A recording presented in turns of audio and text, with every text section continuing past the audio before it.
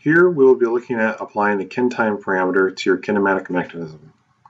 In this assembly, I have a watch face, hour hand, and minute hand.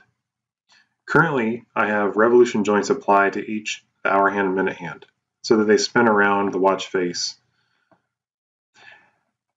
If I come over here to the simulation with commands tool, you can see that each command is still independent. They're not related to each other. To get the two commands to relate to each other, I can apply the KINTime parameter. I'm going to double click on com command 1 and then in the command value field that's grayed out, I can right click there and choose edit formula. This is the hour hand.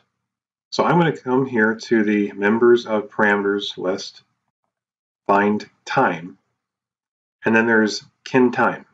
I'm going to double click this to add this to this field. And then I'm going to divide by the total amount of time that I want the motion to take place. So it's 60 seconds times 60 minutes times 12 hours, the total amount of time in seconds. So that will be 43,200 seconds. And then multiply by the total amount of motion that I want that part to move. Hour hand is going to travel around the watch face once, so 360 degrees total.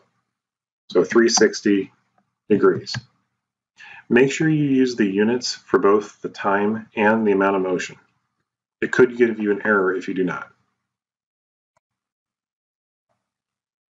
Click OK. And then you'll do the same step for command 2.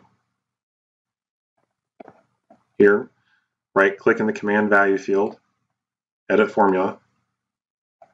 In the members of parameters, choose time, double click KINTime, and then the total amount of time is the same as the hour hand.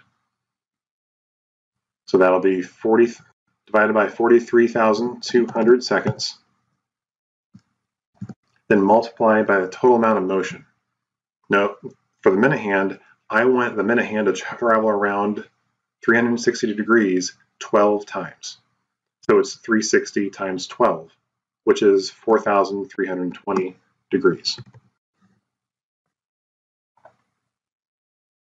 Click OK, and OK.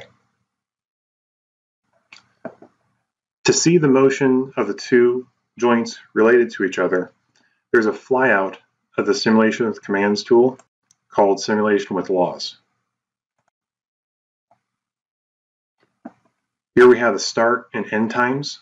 Right now it's 10 seconds. I can change that if I click this button on the end. I'll increase it to 43,200 seconds.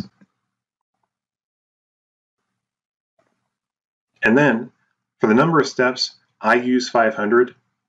That'll slow down the mo motion so you can see this. Then I'll hit play. And there you can see that as the hour hand spins around once, the minute hand will spin around 12 times.